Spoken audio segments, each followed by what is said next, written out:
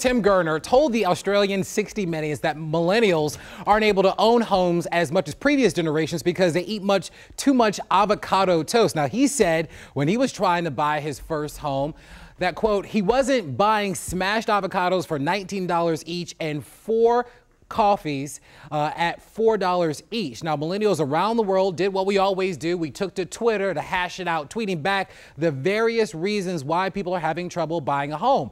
One user actually kind of broke down their budget, saying that they spend $800 a month on rent, $500 a month on student loans, $300 a month for health insurance, $100 for medicine, $0 for avocado toast. But oh, I must be just a jaded millennial. Now, why is it so hard for millennials to buy home these days? Well, there's really three main reasons. One, slow rising wages, uh, which are contributing to that. Small increases from year to year make it difficult to save money. Also, rising rent prices. Now, rental prices here in the area are pretty high, at least according to the national average. And the Washington Metro, the average rent is $2,100 a month. And then, of course, there's student loan debt. The average student has about $30,000 in student loan debt, according to the Institute of College and Access and Success.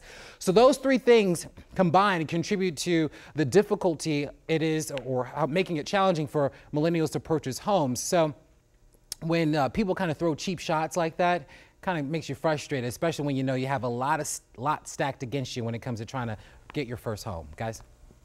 Well, it's expensive to live here, that's for sure.